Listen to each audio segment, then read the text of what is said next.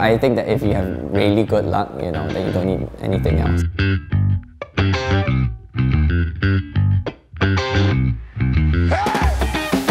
Surprise, you know. I mean, I'm, I'm relatively young. I don't have kids, and uh, if you actually knew me, you wouldn't think that I would be in the kids industry.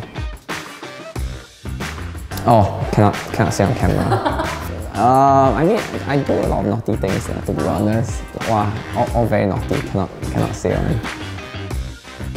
I actually hardly ever have New Year resolutions.